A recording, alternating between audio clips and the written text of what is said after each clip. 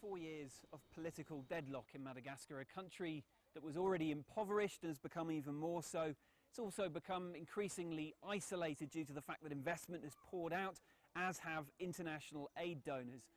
Now it's hoped that if this vote goes off without a glitch, that this could represent somewhat of a uh, fresh start for the country.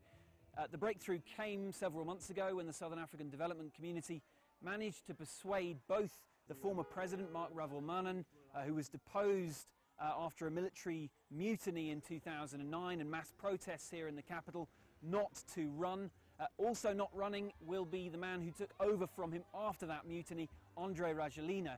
But both of those men are still politically relevant because the front runners in this runoff are closely aligned to either one or the other.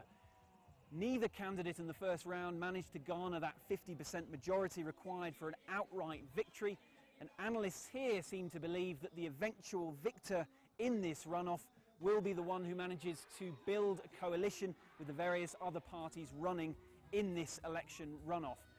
The results aren't out until January. Between now and then, there's likely to be a lot of political wrangling behind the scenes to try and muster enough support for that coalition. Guy Henderson, CCTV, Antananarivo, Madagascar.